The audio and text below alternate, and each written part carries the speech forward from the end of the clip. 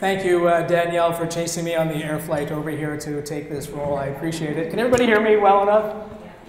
Yeah. I'll boil down that title into what I want to talk about is really um, getting people to connect in a hyper-connected world.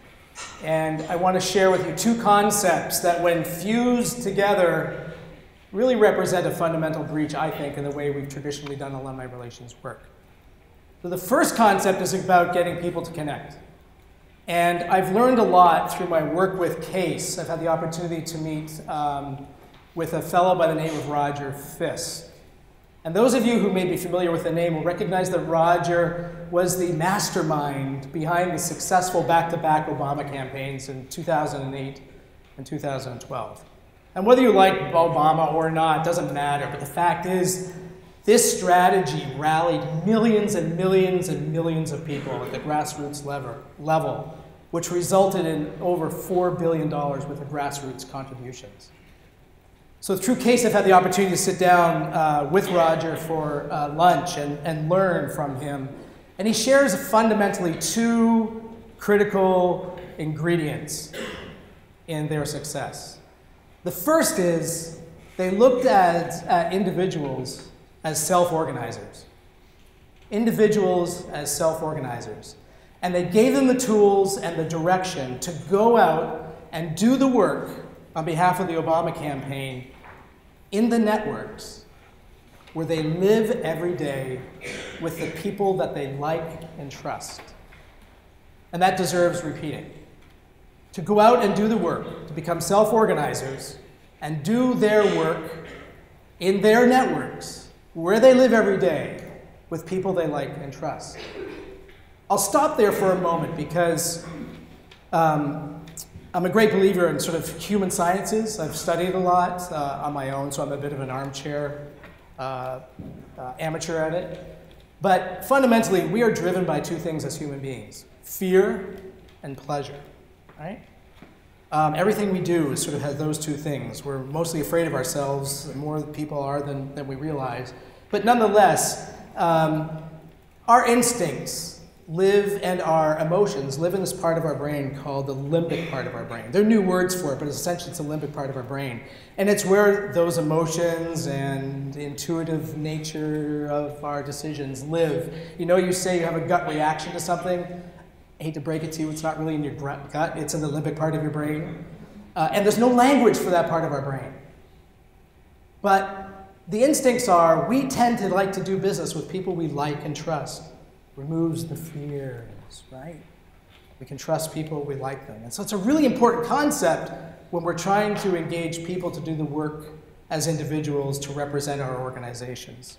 So he got people to become organizers in their networks, where they live each day with people they like and trust. The second concept, and this is going to make our marketing people and our communications people cringe.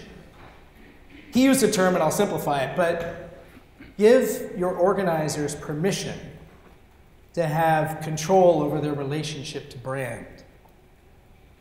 Essentially, allow them to have their own narrative. Because we live in a world with millennials, and they're taking over and even Generation X don't trust headquarters anymore. They don't trust the polished, veneered message that's coming from our institutions. But they will trust the message that's coming from someone who they like and trust in their network. Two powerful concepts at play and getting people to connect. Um, so there's concept one. The second, I'm going to I'm gonna draw a, a concept up on the board. And I'm going to begin by asking a question. I have to dig deep in here. You have to be honest, okay? This is a participatory audience. How many people have some sort of mobile device? Put up your hands high. Okay, keep your hands up if you have more than one mobile device, an iPad or a laptop where you're communicating with the world wherever you are. Yeah. Here's a fact. You can put your hands down now. Thank you. there are more mobile devices in the world than there are human beings. And that number is expected to double by 2018 and 2019. And what does that mean for us? Well, I'm to draw the first circle up here. Multiple devices. When are you, when are you using those devices? Speak up. All the time. Yeah.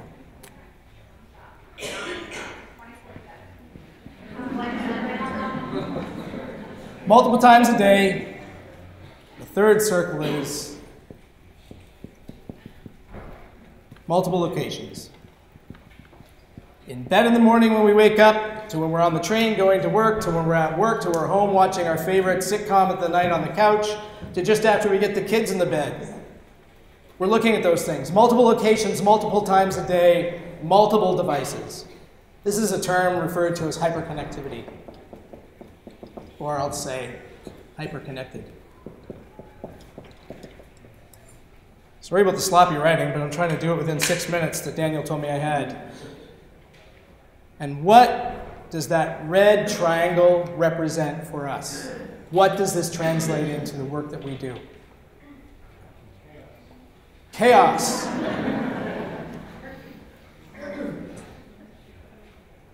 It means that we have an ever connectable or addressable alumni. What this means is that we no longer need a physical address to activate our alumni into action, to make a gift, to show up, to do something on behalf of our institutions. We no longer even need an email. I talk to my annual fund colleagues or staff members, and they don't get, well, how do we figure out participation? We don't know our base. We can talk later about some practices and some experiences or case studies about how we can really leverage our alumni into doing what we want them to do, and we don't even know. They're lost in our traditional methods. But let me tell you, they're on game on the social platforms, the people they're connecting with every day. And if we can get our alumni to be self organizers on behalf of our institutions on those platforms where they live every day in a hyper connected world with people they like and trust, it's something for us to think about.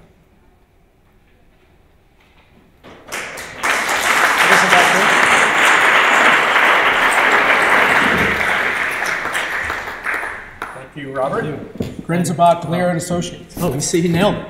I thought it was going to be called Grenzebach, Glier, and also Brook. also Brook. Well, you have to talk to Patrick from USC because his, his team has spent a lot of time with my colleague Bob also Brook uh, out there. So, um, so um, a couple of uh, very relevant but also things I want to push on a little bit just in terms of challenging you. Not because I think what you said is invalid, but because I wonder what some of the implications are by extension to the organizations that are represented by the people in this room. Um, the, the, sort of fundamental question is uh, the idea of self-organizing. So the old sort of traditional model of um, marshaling your alumni and supporters was a sort of this top-down model, mm -hmm. where people were waiting for you to tell them what to do and how to engage. Um, and all they knew about you was what you told them through the Alumni Quarterly or magazine or later through the website. And now people get information about our organizations from numerous sources, some reliable, some not. Um, they can self-organize, which can be a benefit, but is there some point at which they're so self-propelled and self-organizing that, they, that it, it becomes an existential threat of some kind to the outreach or the engagement or the advancement operation of the institution itself? Uh, you have to maintain that self-organizing identity at the same time that they're tethered or connected or linked somehow back to the institution. What's the balance there? Yeah, I'm not sure. It's pretty new in our realm of experience. Um, I just think we're in a we're in a brand new way of the way people uh, connect with each other. I think the peer-to-peer business model um, which is not a, a, new concept, it's an old concept, it's just being employed differently today. Mm-hmm. I think um, you know the, the idea of us expecting to keep our alumni being in touch and showing up is is withering away. And and I often say about our own organization that we have one of the most active alumni groups of all schools. We're just not part of it. So uh, we see a lot of virtual activity in our own experience taking place with this sort of model concept employed. Mm-hmm. Um, and what we're now doing is being more proactive. We're saying, communicate back to us about what you're doing, take a picture, mm-hmm. tell us who showed up. And, and that's, that's a new way, and we don't even show up sometimes. Mm-hmm. Um, And that ties into your second point about the brand. So I think what you're saying, to some extent, maybe this is too strong a statement, but you're, you're basically saying that on some level, maybe on every level, the institution doesn't actually own its own brand anymore. It lives and, and sort of takes on its persona according to the way the audience wants it to. Is that too strong a statement? I, no, it's not. I, I, don't believe it. And I think we have to look at the reality of the way our millennials think. Uh, 37% of our graduates are millennials, 37% are Generation X. They don't trust our message as much as they trust what they're getting from their peers or colleagues or their, uh, the people within their networks. Those are authentic words that have a lot of power and they're very personal. Um, you know, we had a, we've had a, a, a couple of days of giving and the responses have been incredible, and we can talk about all the nuances. But fundamentally, those people who are extending the message on their own, using their own narrative, are saying things that we would never even imagine. Um, you know, Holderness is an oasis of civility, and we need to fund the administration to be able to keep it that way. That's not something we'd use, but boy, talk about a class that ends up with seven out of 10 members participating in the endeavor, something's going on there that right. we need to be paying attention to. So it's a grassroots driven, ground up support effort. It's not controlled from the top and it's not centralized. No, and it doesn't rest on the shoulders of any one administrator who may choose to leave the organization and go someplace else. There's perpetuity to it. Mm-hmm. Because it exists out there among the community members. Needs to be fed, uh, but not like the old structures of, you know, Dartmouth College, 4,500 class agents, and huge manifestos of structures. Okay. So the last thing I wanted to ask you about, and then we'll see if the audience has any questions, was this idea of being ever addressable or ever connectable. Potentially quite powerful because they hadn't been true in the past when these digital tools didn't allow us to reach everyone potentially, everywhere, all the time.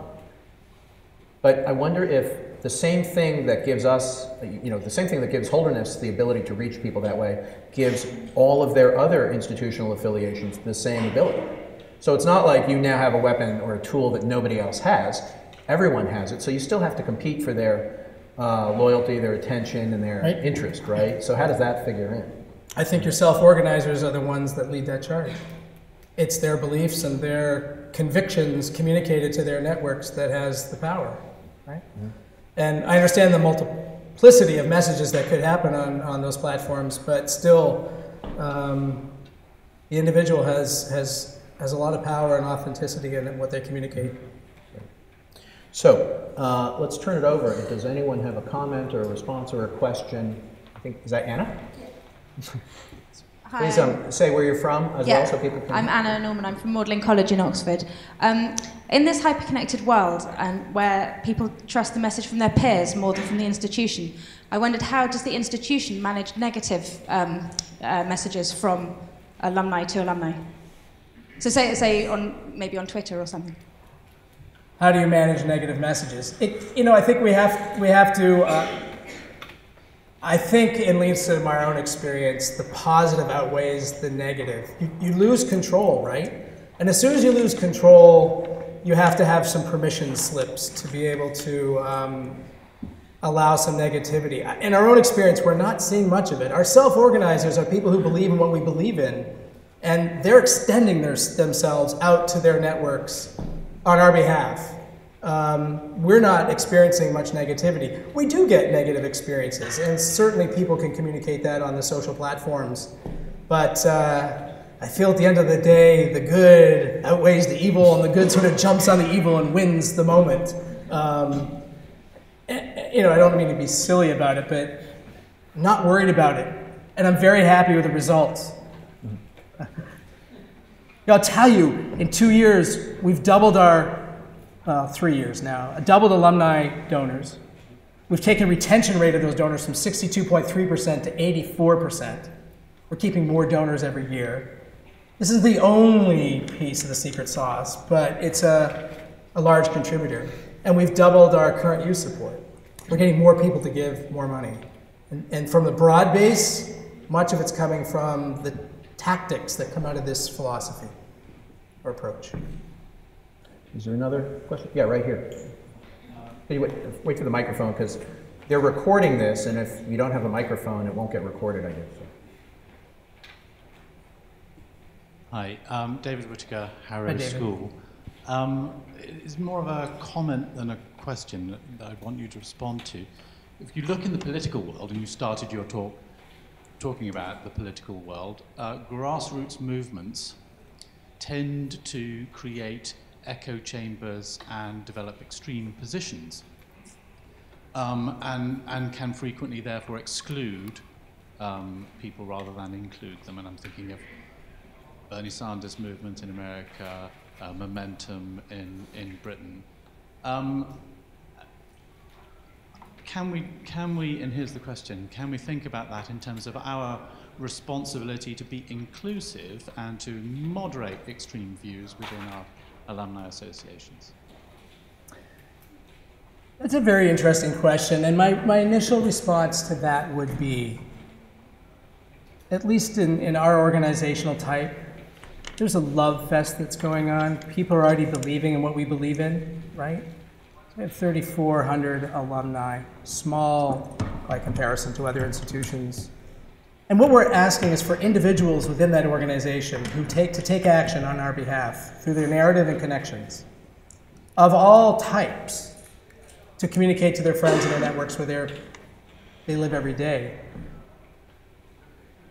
I'm not sensing much extremist positions on there other than just a personal conviction that I believe in this place. And I'm asking you to join me in doing something um, that I do voluntarily and I believe in.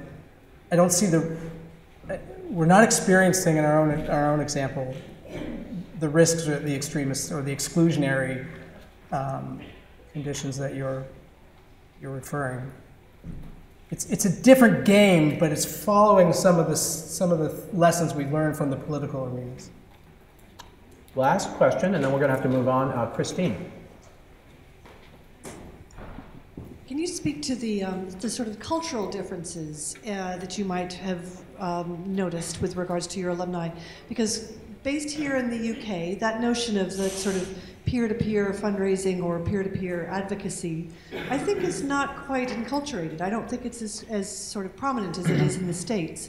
So what sort of trends have you noticed, say, in Asia or in Europe or, or outside of the US that um, either supports your premise here or has been challenging?